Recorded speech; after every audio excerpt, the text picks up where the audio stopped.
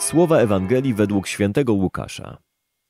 Gdy rodzice przynieśli dzieciątko Jezus do świątyni, była tam prorokini Anna, córka Fanuela z pokolenia Asera, bardzo podeszła w latach.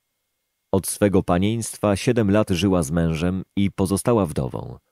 Liczyła już osiemdziesiąty czwarty rok życia.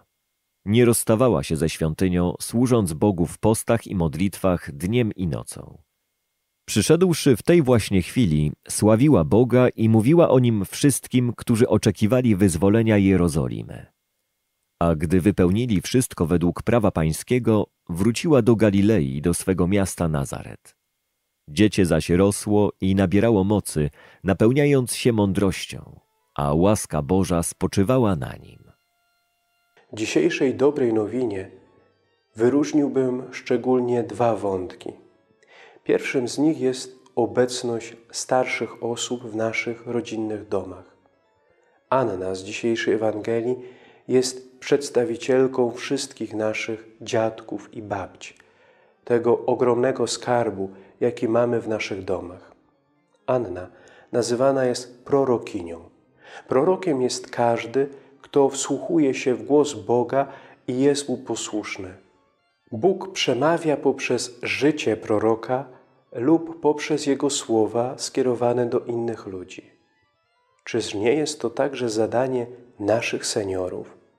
Swoim doświadczeniem, swoim zanurzeniem w mądrości Bożej powinni oni dzielić się z młodszym pokoleniem. Pozwólmy naszym dziadkom brać wnuki i prawnuki na ręce, błogosławić i wielbić Boga. I to drugi aspekt, który chciałbym poddać pod Waszą medytację. Z naszych ust wychodzą różne słowa. Czy mam świadomość, że każde słowo ma moc kreowania rzeczywistości?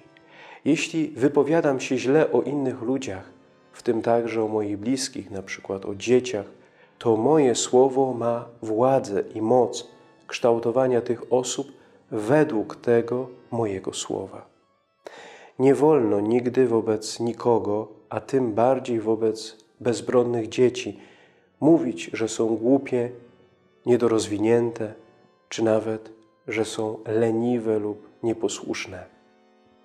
Drugi człowiek nabiera takich cech, jakimi go określamy. Błogosławmy ludzi, a nie ich przeklinajmy. Tak właśnie nauczał Jezus. Błogosławił zawsze i każdego. I także nam polecił błogosławić i dobrze życzyć nawet naszym nieprzyjaciołom. Mówmy o ludziach dobre rzeczy, a zobaczymy, że oni zaczną się zmieniać na lepsze. Tak właśnie działa potęga słowa.